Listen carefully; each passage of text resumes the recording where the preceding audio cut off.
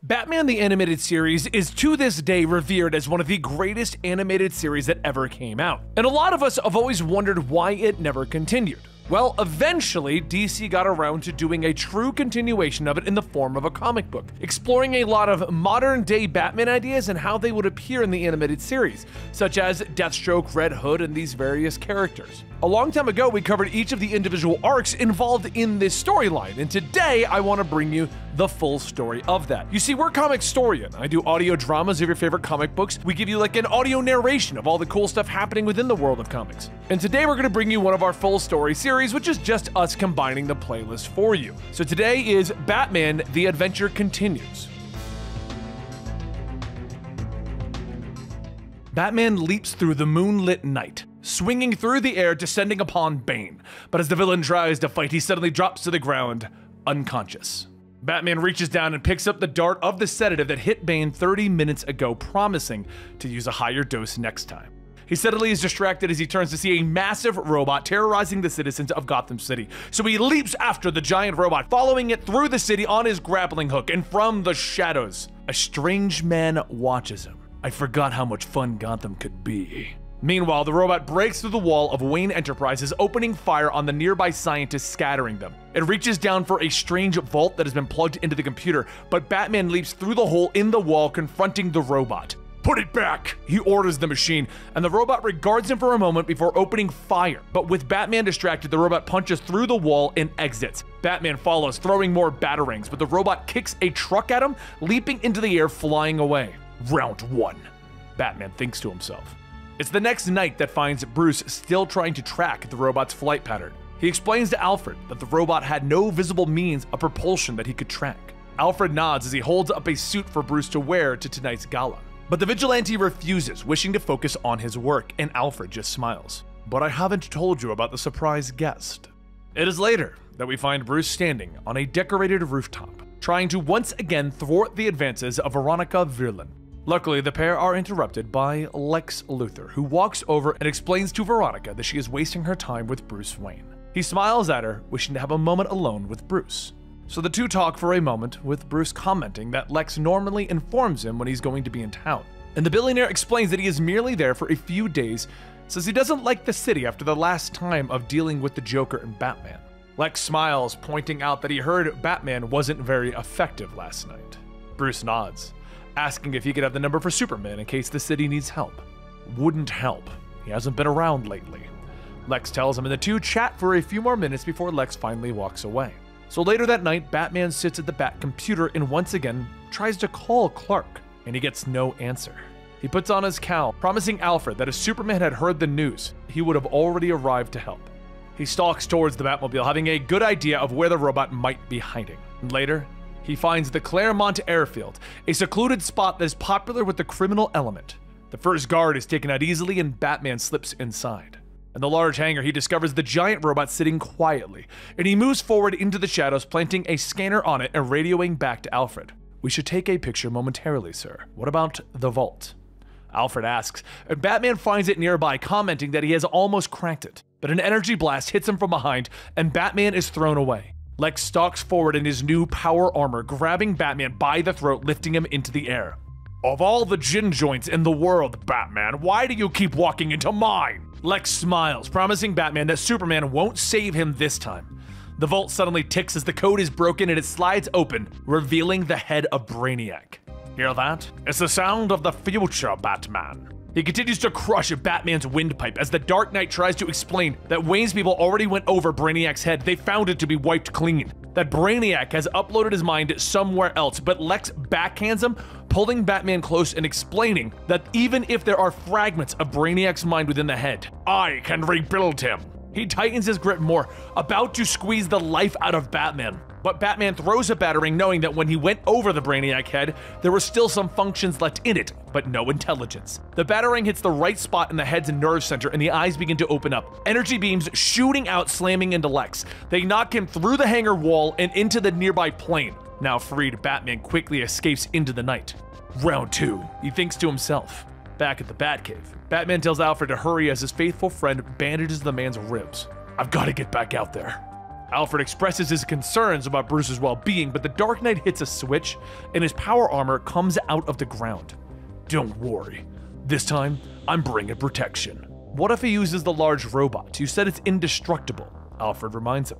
And he motions to the schematics on the screen, pointing out that the robot is so big that it has room for a co pilot. But Batman stares at the layout for a moment and then his eyes widen. That's no cockpit. That's a battery. He suddenly realizes. Donning his armor, he quickly flies back to the airfield where he discovers that Lex has already left. High over the county, Lex is ordering Mercy to hurry, as they are five minutes away from Metropolis. You don't know him. He's relentless. He snaps as they hear a thud on the outside of the plane. They look out front to see Batman hanging onto it, but Lex flies out the door, slamming into Batman and throwing him out of the plane.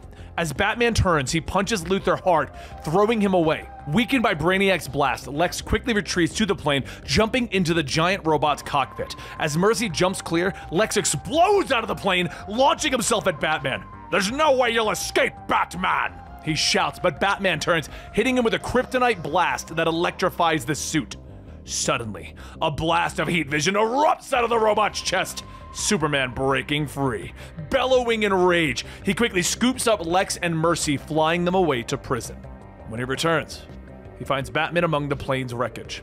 How'd you know I was in the robot? The Man of Steel asks. And Batman explains that it made sense when he saw the schematics and figured out that Lex had turned him into a solar battery. Batman reaches down for the head of Brainiac, handing it to the Man of Steel.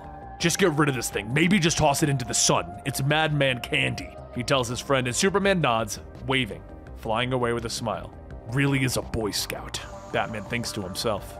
Meanwhile, the mysterious man walks through the streets of Gotham, finally arriving at the spot in Crime Alley. This is where it all began, and a man yells at him from an upstairs window, threatening to call the cops on the guy loitering. The man pulls out a pistol from beneath his jacket. Start dialing, tough guy! Let's see how far you get! The mysterious man shouts. The man on the window runs in fear, and the mysterious man replaces his pistol, walking away into the night, the bat signal shining into the darkness above. A mysterious man walks down the streets of Gotham, ignoring the crime that passes by, because he has a goal tonight. He leaps up on the fire escape, climbing to the roof of a nearby building, and in the streets below, Batman, Batgirl, and the new Robin fight against the raving Clayface. The monster shouts how he won't allow one of his classic movies to be remade. The Bat family surrounds him, and Clayface manages to split into two, with Batman dealing with one of them as Batgirl and Robin chase the other into a nearby alleyway. The mysterious man watching, though, shifts his position, choosing to watch Batgirl and Robin. He notes the younger hero's anger, something that might both help and hinder him. And as Robin gets too close, Clayface double wraps a tentacle around him, lifting him into the air. Suddenly, our new hero leaps from the nearby rooftop. Looks like you could use a hand. Or two. Deathstroke shouts as he brings a sword down, slashing through Clayface.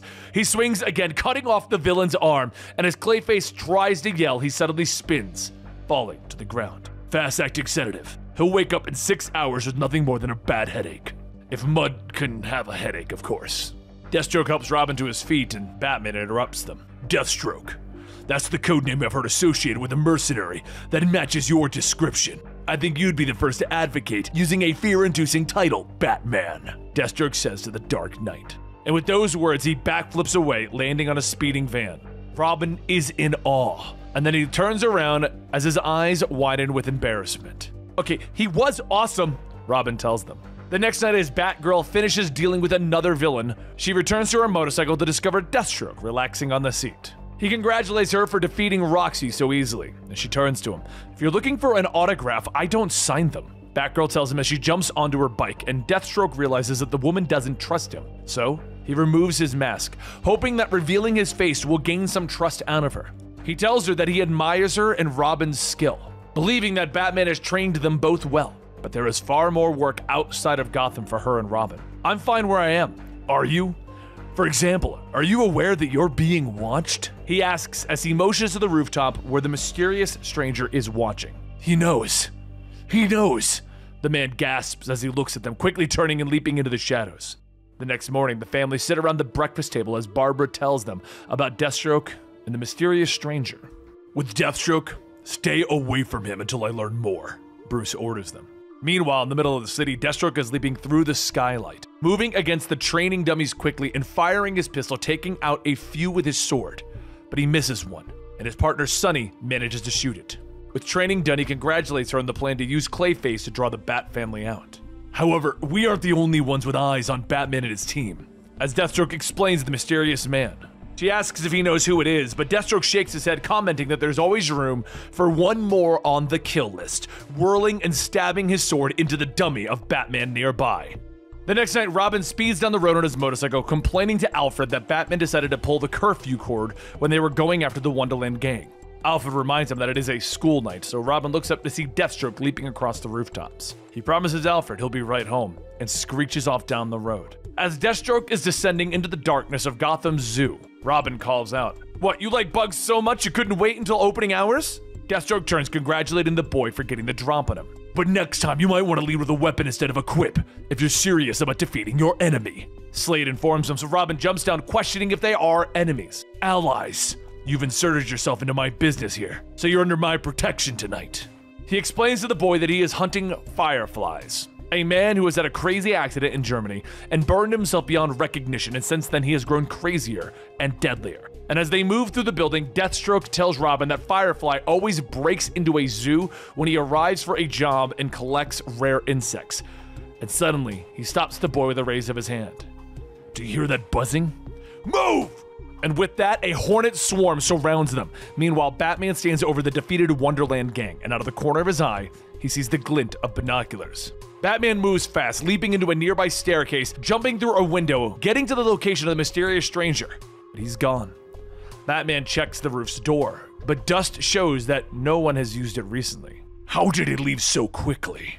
Batman wonders to himself. But back at the zoo, Robin and Deathstroke continue to leap away from the swarming hornets. Robin has an idea, pulling off his cape, swirling it around, grabbing the hornets in the fabric. He then leaps down, grabbing the nearby fire extinguisher, blasting the hornets with it, making them too heavy to fly.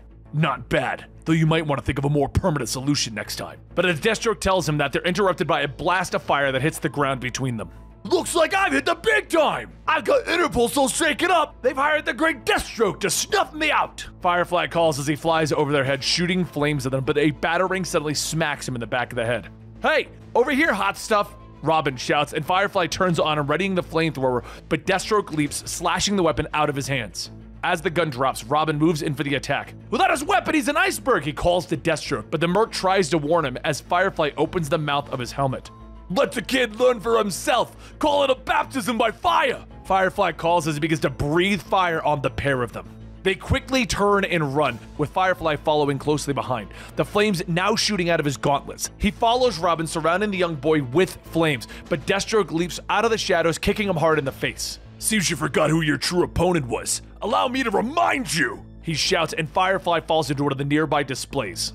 As Deathstroke turns to see Robin having trouble breathing in all the flames and smoke. Time to get out of the sauna, old man! Hold on! Deathstroke says as he leaps through the air, grabbing the boy, carrying him to safety. He gets him to safety, telling him to stay put until he gets help, and then he draws his sword, stepping out to fight. The sprinkler system goes on and begins to shower them both, but the flames of Firefly refuse to go out. The room suddenly fills with smoke, and Batman leaps down into the skylight, his infrared mask easily picking up Firefly's heat signature. In one punch, he cracks his helmet. Oh, you're gonna burn, bats, next time! Firefly shouts, activating his gauntlets, disappearing into a bright explosion. Robin, Deathstroke, and Batman begin to chase after him, and as Robin tries to say something, Batman snaps at him. Go home, now! Deathstroke follows the Dark Knight as he stalks away from the scene, apologizing for not telling Robin to leave, and he once again comments on the boy's skill. But Batman shakes his head. You take too much interest in them, Slade. I don't like it. I don't condone assassins, Slade. When you find out where Firefly is, you let me know. You got it. Batman tells him as he turns to leave, and Slade nods his head, joking about a phone number. And when he turns back, Batman is gone. The next morning, Barbara arrives at Wayne Manor, heading down into the cave to find Bruce and Alfred at the computer, still trying to figure out who the mysterious stalker is.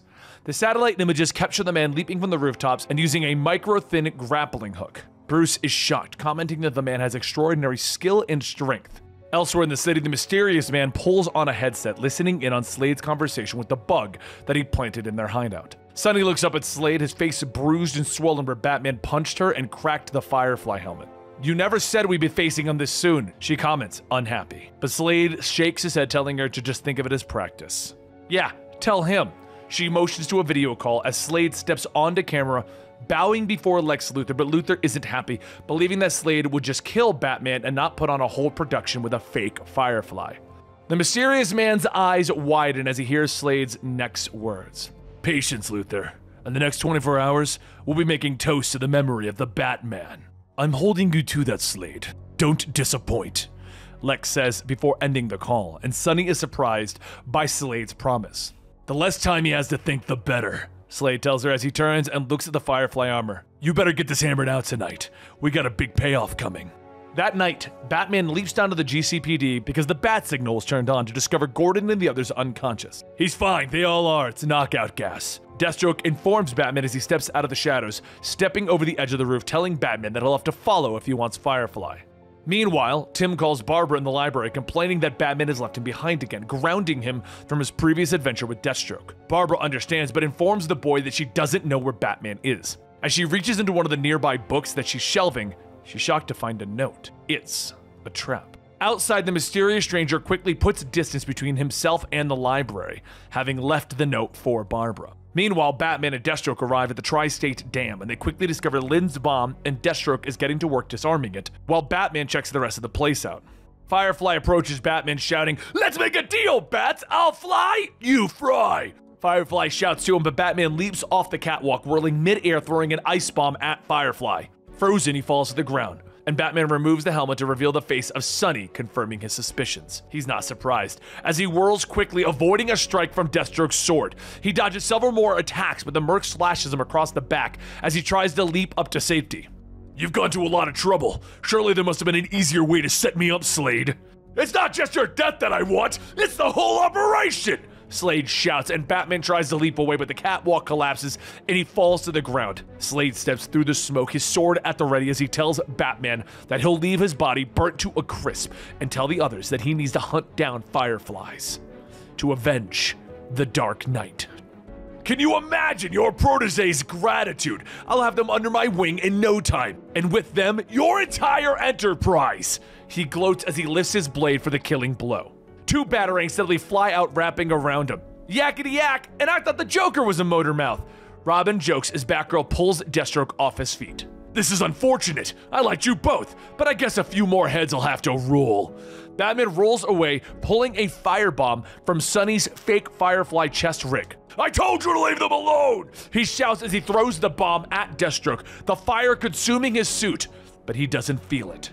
You've only made me more menacing, Batman! But Batman knows that it's heating up inside as Deathstroke tries to strike his blade, creating a blinding light that he tries to use as his escape. But Batman tosses a fire extinguisher, knocking Deathstroke out cold. As he lays on the ground, Batman picks it up and puts out the burning Merc. Later in the Batcave, Bruce gets up from where Alfred bandages him, questioning whether Barbara found any prints on the note that was left. She shakes her head, still surprised that this man is staying one step ahead of them. The question is, what does he want? And why the cat and mouse game? Who is our mysterious man? Batman gives chase as Catwoman leaps off of the rooftop, wondering whether Tim is right, and he chases her for longer than he really needs to. But as he manages to grab the jewels that she stole away from her, Selina turns, blowing him a kiss, continuing to run. She doesn't get far though, as a bolo wraps around her body, and as she begins to fall, a new mass hero leaps out, catching her. Batman quickly follows, hooking his grappling hook to a water tower and leaping after them, but the stranger draws a flaming sword, cutting through the water tower supports. Batman begins to fall again, but manages to catch himself and swing away. In the nearby alleyway, the stranger drops Catwoman to the floor. Who are you? A substitute member of the Bat Gang or just a wannabe? She asks, and the masked man lowers his flaming blade to her. I am of the Order of Saint Dumas. Where is the shawl? He demands, and suddenly a batarang is thrown, knocking the sword out of the warrior's hand. He leaps at Batman, punching him, demanding that he stay away. But Batman dodges, and the two begin to trade blows back and forth again. Suddenly, Batman throws down a smoke bomb, forcing the warrior to run as he begins to cough. You are always a trickster! Next time! Batman returns to Catwoman with her brushing him off, and he takes her hand. It's a vengeful god who rules the Order of Saint Dumas. You better tell me, Otherwise, there will be no rest for you. He pulls her in close, asking her, Trust me. And she finally agrees. So a short amount of time passes, and Batman stands by while the GCPD takes her in, promising to put a guard on her when suddenly his comms buzz and Alfred's voice fills the air. Pardon me, sir, but your presence is requested at home as soon as possible. When he arrives, he finds Jean Paul Valley there, an old associate and friend from when he trained with the monks at St. Dumas. So Jean Paul removes the Azrael mask and he explains that he is scouring the city for the shawl of Lady Magdalene, and he thought that the costume and armor would make the criminal element fear him. They discuss it for a little while about how Azrael thinks that Catwoman is working with the enemy. But what's decided is that Bruce and Alfred will make a Bat ally suit of armor for him, so he looks like an ally, not an enemy. The two of them then find themselves in front of Oswald Cobblepot, aka the Penguin, with Batman growling at him. All I want is the shawl, Penguin. But Penguin shakes his head, explaining that he only acted as a middleman and the shawl itself is already gone. As they begin to get just a little rough with the penguin, he calls in one of his goons who steps in and reaches for the two Dark Knights. The strange, large Birdman picks them both up, squawking his delight. First week on the job and I'm icing Batman and this loser! Looks like I've got a bonus coming, Mr. Wing shouts. But both Batman and Azrael kick out, hitting the man in the stomach, knocking him down. You take out the Birdman. Cobblepot is mine. Azrael shouts as he begins to give chase to the Penguin. Batman doesn't waste any time, quickly dispatching the large enemy and then rushing out to see what's going on. And that's when he finds Azrael holding a bloody penguin over the edge of a building. He was the most cooperative, Azrael tells Batman. Though, of course, since he was Catwoman's employer, the order demands that he must suffer in her place. And with that, Azrael lets Penguin go. He plummets through the air but is quickly caught by Batman, and when he turns back, Azrael himself is gone. He rushes down to the Batmobile and begins to search for Azrael, knowing that by the time Penguin is able to inform him of where Azrael went, it'll be too late. But at that moment, Alfred chimes in, informing Batman that there's been a grave robbery that might interest him. Later on, Azrael is slipping through the shadows of an Iceland skating rink and finds the shawl draped over a female body. Clearly, my quarry knew of its power, but not of its limitations. At that moment, a blast of icy rays hits the wall near him. I should have known! I understand your grief, friend, Azrael tries to tell Mr. Freeze, realizing that Victor had cured Nora for a time, but her disease came back and ravaged her body once more. I don't need tears, holy man. I need the shawl. He ignores Azrael's words about how the shawl won't heal dead bodies. I won't lose her again! And he raises his weapon, blasting Azrael, freezing him in place. Shortly after, Batman slips into the closed rink, finding a frozen Azrael in the shadows. But Freeze is suddenly behind him, shooting his ice rays. Batman whirls, kicking over the table that Nora's body lies on, and Freeze shouts, reaching for his wife's body. Anger flashes across his face as he vows to make Batman pay, but the Dark Knight throws a batarang that lodges into his helmet. It slowly begins to vibrate faster and faster, cracking the glass and shattering it. And Freeze screams out as warm air touches his skin. But Batman picks up the freeze ray, encasing Mr. Freeze's head in ice, saving him. He uses the same trick to bust Azrael out of the ice, but finds that his former friend's pulse is almost non existent. He turns, seeing the shawl that is said to have these healing abilities, abilities that Batman doesn't believe in, but he has no choice grabbing it and wrapping it around a former ally. Later, at the Church of St. Dumas, Batman lights a candle for Freeze and Nora. You surprise me, Bruce. There's a passion behind the grim facade that you've adopted. One might almost call it saintly. John Paul notes as he walks across the church to return the shawl to its rightful place. I owe my life to you, and the shawl, of course. The two turn and they walk out of the church, with Jean Paul promising that he won't be as impulsive next time. If you need me, just call. Elsewhere in the city, our mysterious stranger is looking through his binoculars, watching the Joker play solitaire in his secret hideout. In the deep city of Gotham, a mysterious stranger is looking through his binoculars, watching the Joker play solitaire in his secret hideout. But the Joker glances out the window before turning back to his newest thug, the super soldier known as the Straight Man. It appears that we have a visitor, Straight Man. Someone perched atop the Ferris wheel, Joker tells his comedian sidekick as he continues to curl a crazy amount of weight. The two share a joke back and forth before venturing out into the night.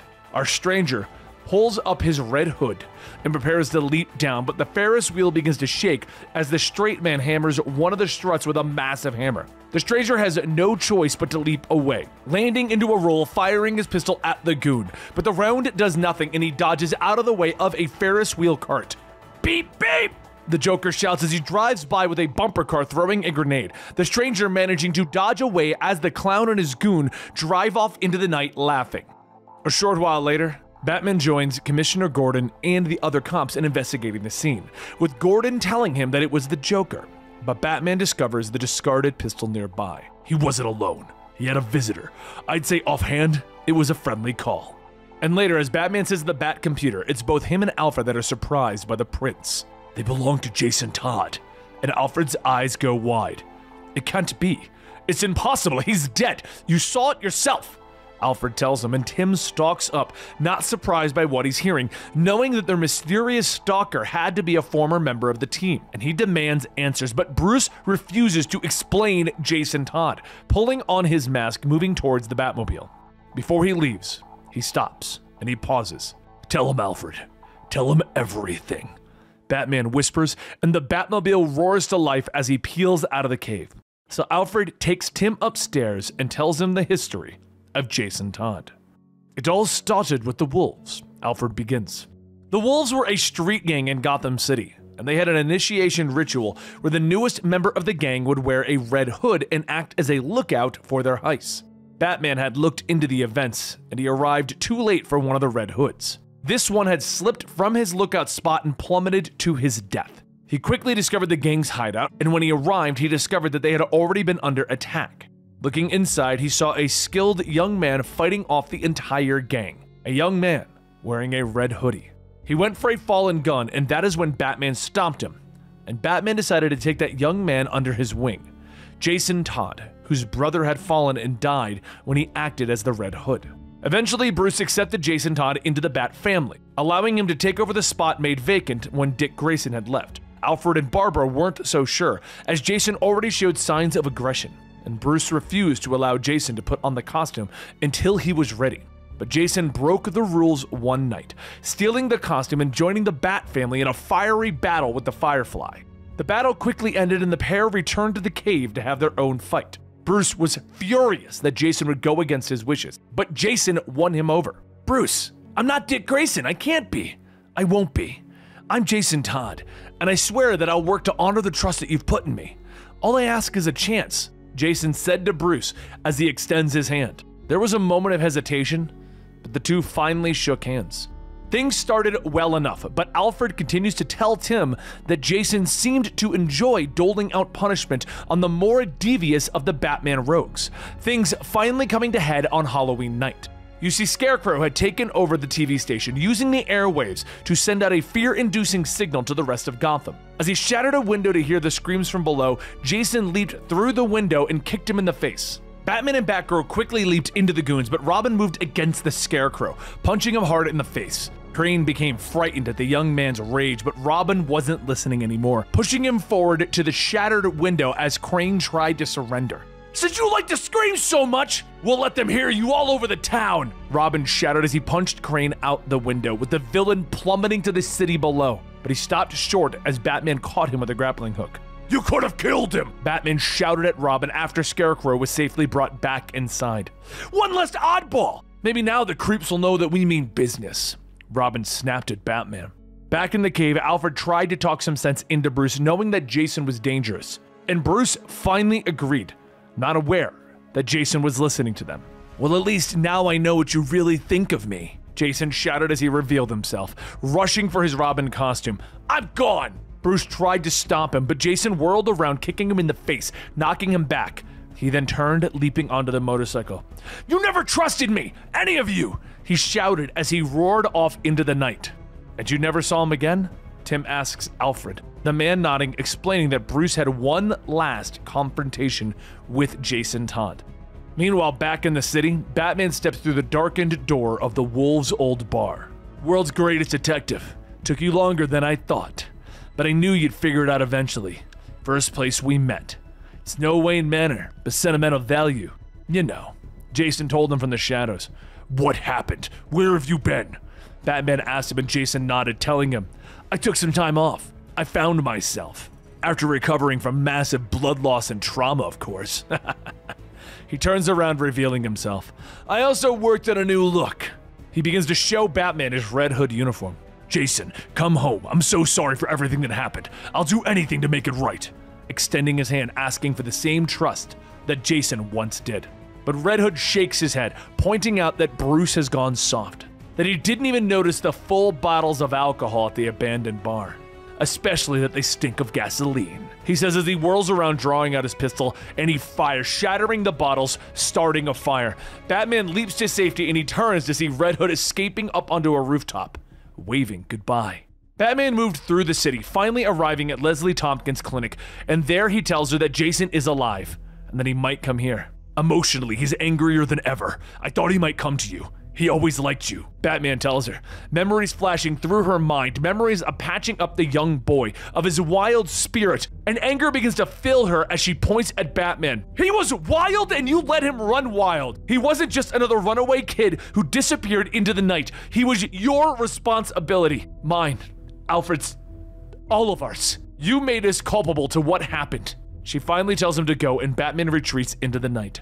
Meanwhile, back with Alfred, he continues the story, explaining that Jason began to work in the city alone, still wearing the Robin costume, but now he was barbaric and angry. He showed no restraint when dealing with Batman's rogues, and it would all come to head when he would use a gun on Killer Croc, putting the villain into the intensive care unit at Arkham for almost a full year. Batman continued to work to track him down, but Jason always seemed one step ahead. Meanwhile, Joker and Harley had had a bit of a falling out, with the two of them apparently having split because of this, because Harley seemed intent on destroying everywhere that she and Joker had gone as a couple. Jason tracked her down, trying to stop her, and the two fought briefly, trading blows back and forth as Jason dodges her hammer. But finally, Jason got the upper hand on her. We both want to be rid of the Joker. Tell me where he is, and you'll only wind up in the emergency room. Jason growled at her as he knocked her down, but Joker came up behind Jason, shocking him with the joy buzzer, and the young vigilante fell to the ground. Staring up at the laughing Joker and Harley, Joker reached into his jacket, pulling out a bundle of flowers. Oh, Mr. J, you really do care. Harley says with a big smile, but Joker turns, tossing the flowers onto Jason's body. On second thought, they're more fitting for this young fella. It was a trick, Jason whispers as he falls unconscious. When Jason finally awoke, he was strapped to a table in Joker's lair. Joker smiling as he leaned into the young hero. You've been a busy bird lately, and an unhappy one too, it seems. Joker says with a smile. I'll be putting my hands around your neck! Robin snaps at him, but Joker turns to his goons, pointing out all of Robin's hostility. Oh, if only there was a trusted professional that we could call! Harley appears in her doctor's coat, pointing out that Jason is insane and suffering from violent tendencies know his father. I concur. Joker says as he studies the upside down chart. He finally tosses it away, reaching for a crowbar. Junior here has become a real plague to our kind, he says as he begins to hit Jason, and then he swings again and again, drawing blood and looks of concern from Harley as he hits again and again until Harley stops him. Roughing up the punk is one thing, but killing him? Harley asks, and Joker turns to her. Did you think that we were gonna give him a love tap and let him go? He turns back to the beating, ordering the goons to take Harley out of it. Batman arrives shortly, finding the grisly scene and ordering Joker to step away from Robin. Hey, Bats! Even you've got to admit that that kid was cruising for a bruising, Joker tells him as he drops the crowbar. He turns, ordering his men to open fire, and a nearby hydrogen tank is hit, and the whole place explodes, engulfed in flames. Joker races to escape in his car, but another explosion flips it over, trapping him underneath. Batman moves quickly, freeing the wounded Jason. Bruce, I'm dying. I'm all broken up. Jason gasps as the flames roar around them. As he continues to bleed, he asks that Batman finish the Joker. For me, for everyone he's hurt for everyone he's going to hurt. Bruce. Jason coughs and he hands Bruce the crowbar. Batman stalks over the Joker, but uses the crowbar to free him from the wreck. He moves to help the Joker as Jason is yelling, No! You won't save him! You can't! I won't let you! He shouts as he tips over another hydrogen tank. Batman is forced to flee as another explosion rocks the building. Outside, he screams for Jason, but rushing back inside, he only finds the tattered remains of the costume. Alfred informs him that Bruce returned to the scene for several weeks, searching for any sign of Jason or if he had escaped, but found nothing. They both turn and see Batman at the top of the stairs. What happened to Jason was the biggest mistake of my life, and I'll never let that happen again. Not to you, not to Barbara, not to anyone. I promise. Batman says as he walks down the stairs, holding out his hand to Tim. Tim nods, reaching for him. I'd be a sorry excuse for a Robin if I fell for this crap. He snaps as he grabs Batman, flipping him to the floor. Jason chuckles as he removes the mask. Not bad, kid. What gave me away? No Batmobile? He asks, but Tim shakes his head, pointing out that Bruce would never apologize. Alfred pulls out his bolo gun, ordering Tim to get away as he fires, but Jason dodges, and the bolo shatters the costume display behind him. Jason moves, chucking a batarang, knocking Alfred out, and he dodges another blow from Tim, knocking the young boy out. He then grabs the Robin uniform, throwing Tim over his shoulder as he walks out of the cave. Later, Leslie clicks on the lights to her clinic, finding Red Hood rummaging through the meds cabinet. Thanks for the light, Grandma. Hard to read these labels in the dark. Red Hood tells her as she steps forward, trying to talk some sense into Jason. She reaches for his mask, but he stops her. You don't want to see my face. I've had some work done on it. I'm not as pretty as I used to be. Not as patient either. He says as he smacks her away and continues to try and talk to him, trying to turn him away from his current path. But he pushes her away and heads for the exit. As he walks down the street, he tells her to make a house call to the manor. The old man didn't look too good when I left him. A short time later, she calls Bruce and informs him that Alfred is fine. You were right. There's something wrong with Jason. Save him, please. As she hangs up, Bruce begins to study the locations where Red Hood has been spotted, knowing that he has been hiding within that area, and he finally heads out for the Batmobile with Barbara joining him. Meanwhile, in a secret location, water splashes on Tim's face to wake him up. He struggles to his feet, surprised to find himself in a glass box. Red Hood waving at him, showing him that he took Tim's utility belt. I'm afraid you're completely powerless. If it helps, I know the feeling. Water continues to pour into the glass box as Red Hood turns away. What do you want from me? The breaststroke, or whatever keeps you afloat. It could be a while. Red Hood calls over his shoulder as he leaves. At the Iceberg Lounge, Joker sits with Penguin asking for a little bit of money so that he can leave the city for a while. Don't kid, Joker. I know what's going on. You got a hitman on your tail, and he's getting close. So close that I'd like to see how it plays out. Poking the clown with his umbrella. But Joker smiles, snapping his fingers, motioning to Straight Man to ask Penguin again. But before the super soldier can move forward, the door bursts open to reveal Mr. Wing, and the two begin to fight, breaking through Penguin's office window and falling down into the nightclub below. As they slam into the floor, Straight Man manages to knock Mr. Wing out. What a team! We're like Abbott and Costello! Joker cheers, but a voice calls out from behind him. Except as always, you're the only one laughing. Joker turns as Red Hood leaps at him, firing sedative darts from his gun. He fires again and again into both Joker and Straight Man, leaping forward and kicking the goon from the ledge and onto the iceberg in the middle of the club. He whirls, throwing a grenade at the chandelier high above, allowing it to crash down on the goon. For a moment, Red Hood glares at the penguin, reaching down, picking up the Joker, turning to leave. Tell Batman Red Hood was here. He should know where to find me. A short time later, Batman and Batgirl investigate the scene with a very unhappy penguin shouting in their ear the whole time. It's Barbara who notices the wet footprints, and Oswald does remember that Red Hood had a clammy smell to him. Of course! Batman gasps, rushing outside with Batgirl, explaining to her that Red Hood must have taken over Killer Croc's lair. But the woman doesn't respond as Batman turns to see that she has been hit by a dart. He gets into the Batmobile, pulling it out of her back, another dart hitting him in the chest as he looks up to see Jason in the sewer grate. My last shot, Batman. Just for you. Batman finally wakes up to see the smiling face of the Joker staring at him. Oh, there you are! Hi! Now get me out of here! Joker shouts at him as he holds up his cuffed hands. Batman looks up at Robin, who tells him that he is fine. How long he stays that way is up to you. Red Hood tells him as he stalks down the stairs, nodding to their belt, asking if they should get to it before Robin drowns. You underestimate him. He's used to the pressure. He's been around the block, Batman says to Red Hood, trying to convey a message to Tim. Robin gets it, wrapping his cape around the water pipe into his box, starting to build up pressure. Suddenly, it dawns on Joker who Red Hood is, as he begins to laugh as he picks the cuffs that are binding him. You're the kid that he left to die while he was busy saving me! I always wondered what happened to you! Red Hood cocks his head to the side. Really? No! Joker says with a shake of his head. He waves at them all as he begins to head for the exit, allowing them to work through their family issues. But Red Hood pulls out his pistol, shooting the clown in the shoulder. With that, he turns and picks up a crowbar from the table and tosses it to Batman's feet. I'm going to give you one chance to fix this. The only way to make this right. Kill the clown the same way that he tried to kill me. Batman shakes his head.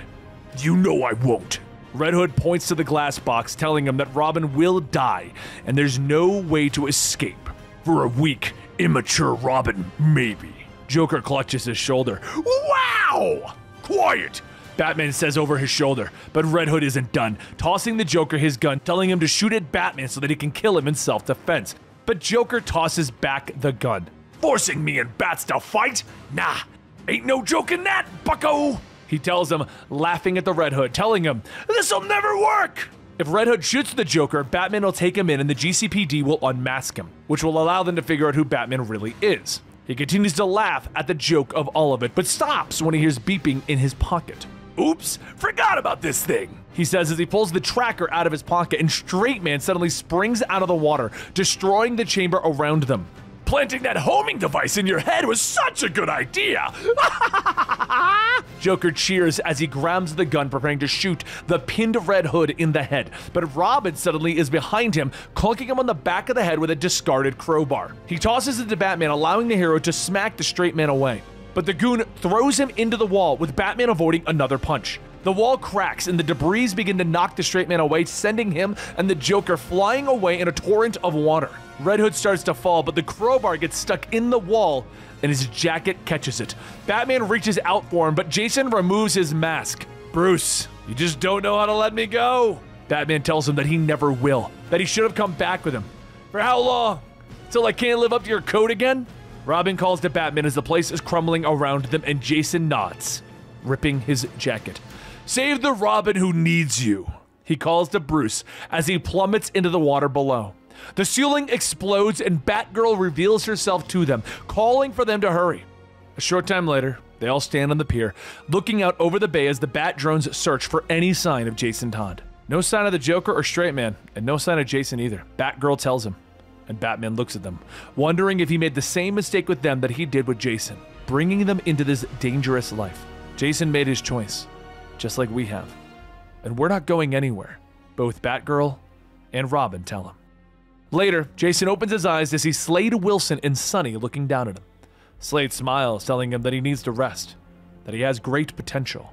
If it's a safe home you're looking for, look no further.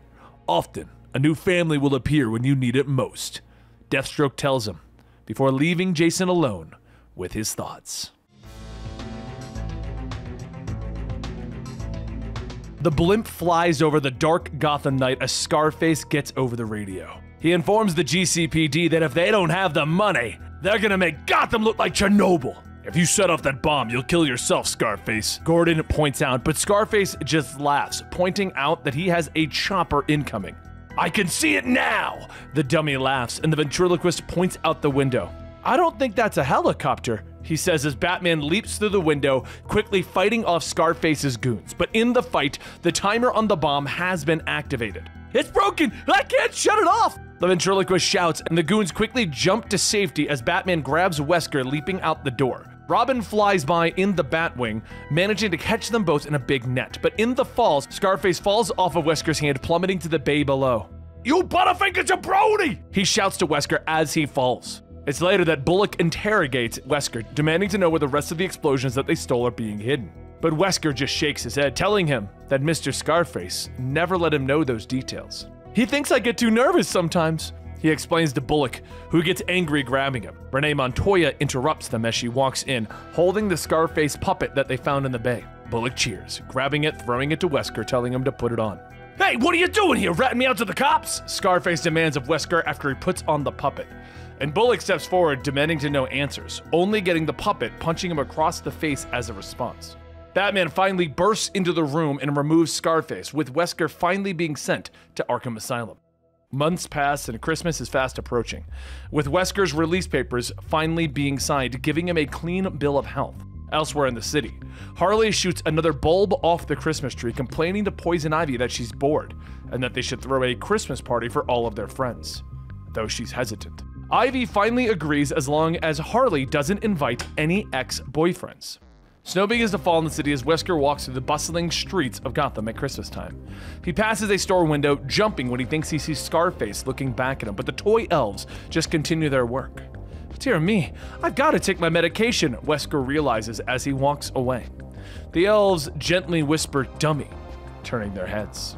Above him, Batman and Robin continue to watch the parolee, with Batman telling the young sidekick that they'll keep an eye on him. Holidays can put undue stress on people who live isolated lives. The cops have never located Scarface's stockpile of explosives. He says as they swing away into the night. Meanwhile, Joker isn't happy as he's looking at his computer screen, finding invitations for Harley's party in her hacked emails. She asked everybody but me! Even asked Albert Wesker for quiet out loud. He shouts as he shoots his laptop, but he starts to laugh as Straight Man looks at him. Wait a minute. That could work! He says with a smile as he begins to laugh with maniacal glee. The next night, Batman and Robin are at Arkham Asylum, where the doctor explains to them that Straight Man broke in, knocked around the guards, and stole Scarface right out of the evidence room. Batman and Robin turn to leave.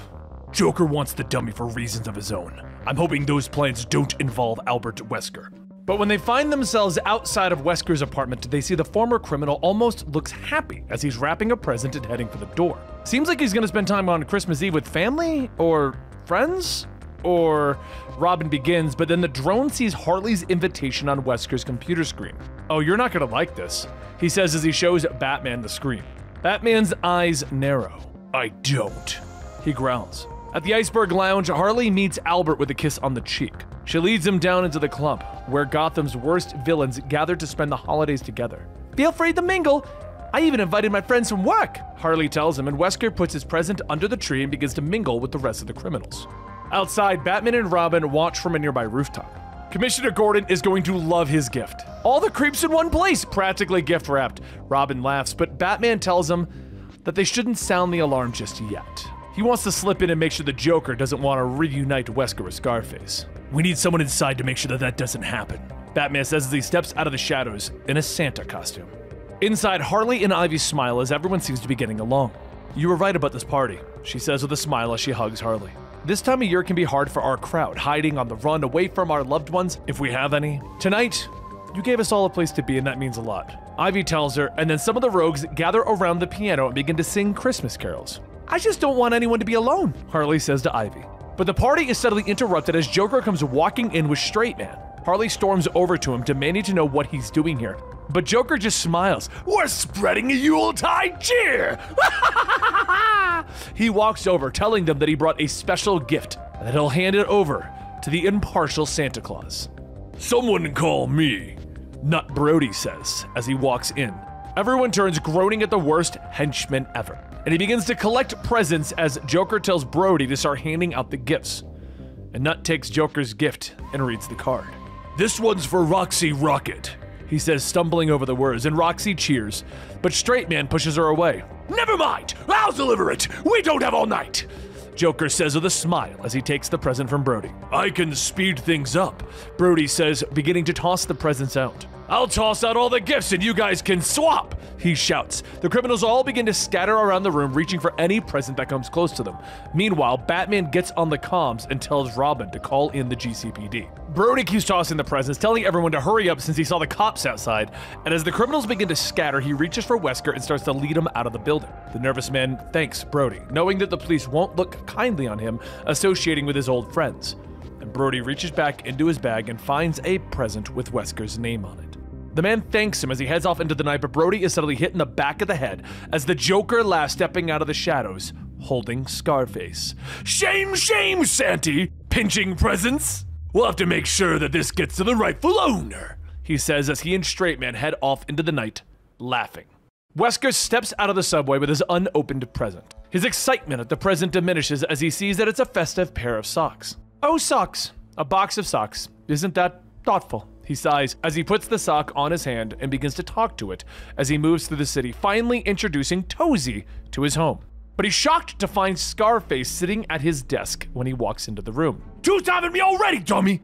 I'd blast you right where you're standing if you didn't look so pathetic! Scarface tells him, and Joker and Straight Man come out of the kitchen, pulling the sock off of Wesker's hand, jamming Scarface in its place. Shortly, Batman kicks open the apartment door to find the place empty. You bought him socks?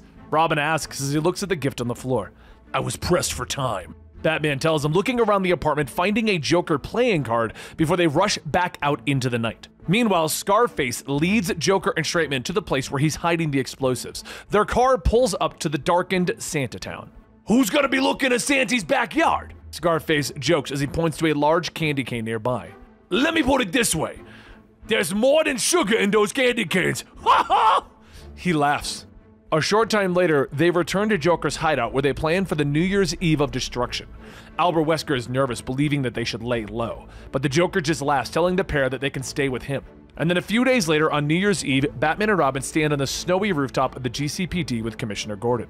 All I can tell you is that every lead on the Joker went nowhere. We have yet to hear from him or Scarface. He tells the dynamic duo, and Batman nods, but knows that Joker will make his move when the ball drops. Then his comms buzz, and Alfred gets on the line telling him that they've tracked it down Poison Ivy and Harley Quinn.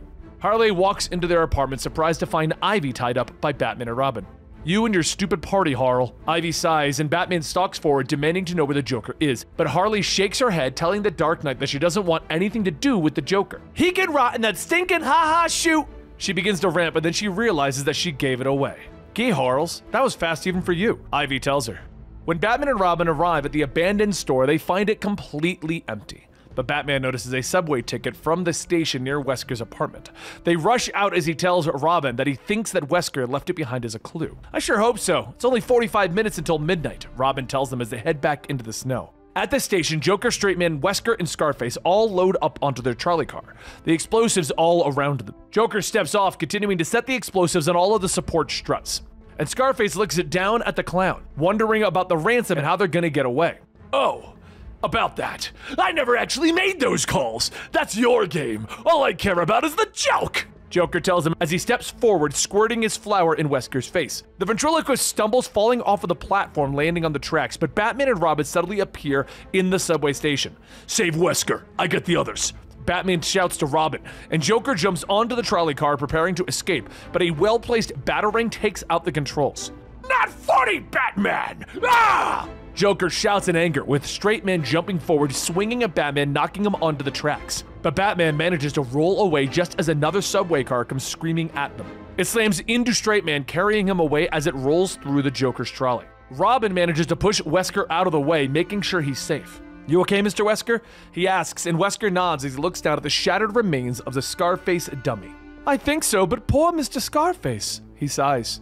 Batman and Robin lead him up to the street, and Batman explains that he called Gordon and told him where to find the Joker, and that they deactivated the bomb. This is all my fault. If I hadn't let Mr. Scarface take over. Wesker begins, but as they reach the street, sounds of cheering and celebration of the new year meet their ears. Batman looks at him, telling him that the clue that he left behind is what allowed them to stop the Joker.